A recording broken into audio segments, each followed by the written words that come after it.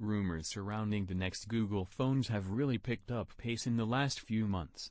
The company is said to be working on the Google Pixel 5a 5G, which it has confirmed itself, as well as the Pixel 6 and Pixel 6 Pro. In terms of price, the Pixel 3 and 3 XL and the Pixel 4 and 4 XL all sat in the same price bracket as flagship smartphones.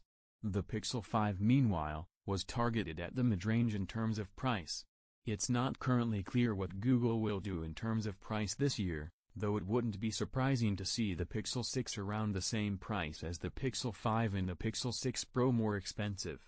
Several renders have appeared online of the Google Pixel 6 Pro, all showing quite a big departure from previous Pixel devices.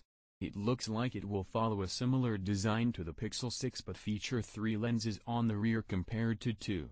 There appears to be a punch-hole front camera centralized at the top of the display, and the screen is said to be slightly curved at the edges and feature an under-display fingerprint sensor. According to rumors, the Google Pixel 6 Pro will have a 6.67-inch display, making it slightly larger than the Pixel 5's screen.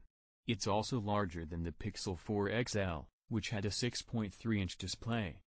We'd expect to see a Quad HD Plus resolution on the Pixel 6 Pro, as well as a 120Hz refresh rate, enabling it to compete with the likes of the Samsung Galaxy S21 and S21 Plus, and the OnePlus 9 Pro though nothing is confirmed as yet. As mentioned above, an under-display fingerprint sensor is claimed for the Pixel 6 Pro and it is claimed the display will be slightly curved at the edges. It's not clear if the chip will go into the Pixel 6 and Pixel 6 Pro, or if the Pro model may return to Qualcomm's flagship Snapdragon hardware, which would currently be the 888. Based on the renders, the Pixel 6 Pro will have a triple rear camera, Rumors have said there will be a 50-megapixel main camera, coupled with an ultra-wide-angle camera and an 8-megapixel 5x telephoto lens. No more specifics on what the makeup of the cameras have been revealed yet.